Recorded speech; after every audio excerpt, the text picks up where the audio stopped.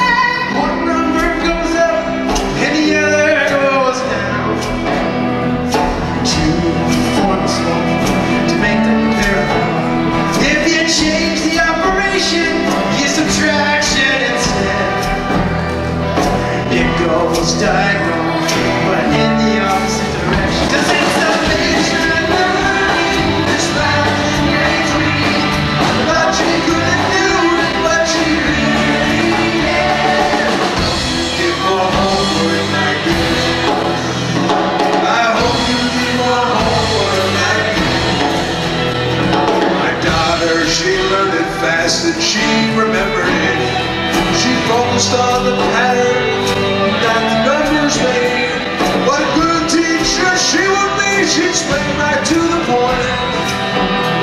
So now I can understand it. Now